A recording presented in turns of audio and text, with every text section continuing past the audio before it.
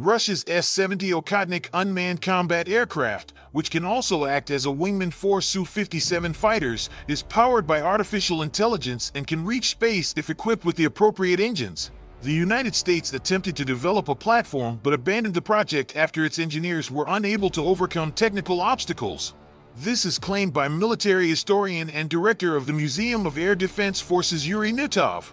The S-70 Okhotnik is powered by an AL-31 jet engine and is expected to fly at a speed of 1,000 kilometers per hour and have a range of 6,000 kilometers. It is equipped with electro-optical targets, radio, and other types of reconnaissance equipment, while the internal spaces carry a load of 2.8 tons of weapons. According to Yuri Knutov, it has many elements of a sixth-generation drone. In addition to low visibility and supersonic speed, it can reach high altitudes and, in the future, into space.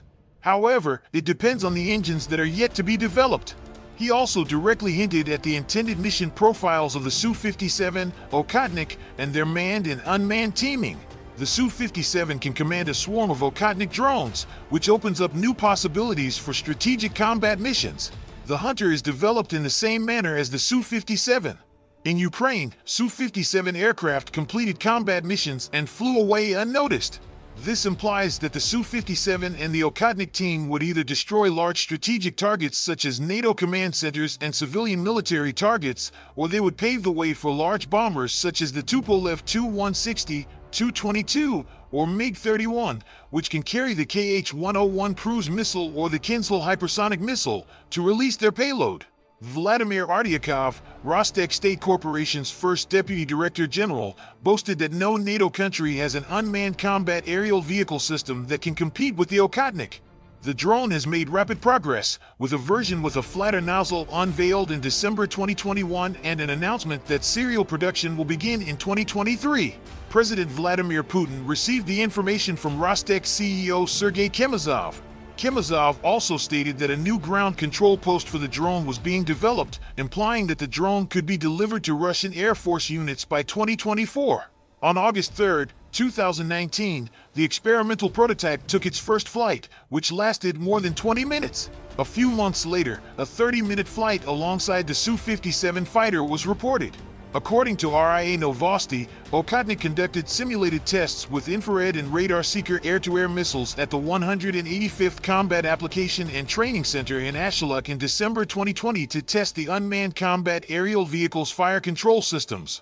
It performed its first live-fire test by dropping unguided bombs on a target at the Ashuluk training facility close to the Caspian Sea. The KH-59 Mk-2 standoff cruise missile was tested on May 28. However, developments involving the Su-57 on June 9 and July 27 showed that Russia was quickly moving toward achieving an operational manned-unmanned teaming capability. On June 9th, RIA Novosti reported that four Su-57s were being utilized in what seemed to be a suppression of enemy air defense operation during the current special military operation in Ukraine. The four members of the group were connected to a single information network to destroy air defense systems by automatic communication systems, data transmission, navigation, and identification in real time. The low radar visibility of the Su-57 was also confirmed. Andrei Yelchaninov, deputy chairman of the board of the Russian Military Industrial Commission, said in an interview that the planes and drones could interact not only with each other but also in various types of combat formations. A two-seat variant of the Su-57 is to be developed to control a swarm of Okhotnik combat drones in network-centric interactions to strike aerial and ground targets. The June 9th operation shows that it is doubtful that the Su-57 won't be utilized for normal tactical missions, with the Su-30 and Su-35 perhaps handling the majority of the air-to-air -air and air-to-ground missions. Its initial mission description called for using missiles like the Vimpel R-77 and destruction of enemy air defense operations to eliminate enemy fighters beyond visible ranges. It must have been conducted to freeze certain operational procedures and verify the performance of its components, like sensors and data linking. Despite being dubious about the S-70 Okhotnik's potential to travel to outer space, a US-based specialist in drone and Russian military technology claimed it was initially intended to be an air defense penetrator.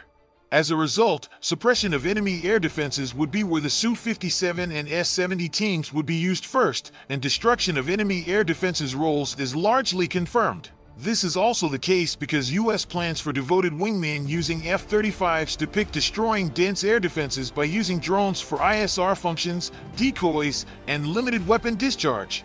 The S-70's potential to travel to other planets comes from sources who are not directly engaged with the project and should therefore be treated with caution. Many of its proposed uses are based on the air defense penetration role it was intended to fill. The U.S. military analyst stated that the unmanned aircraft eliminates the limitations imposed on human physiology when operating at those altitudes, which is expected to be at the stratosphere at roughly 50 kilometers high. Removing the pilot simplifies operation at that level, but once again, we need to have evidence of at least one such test before we can draw that conclusion.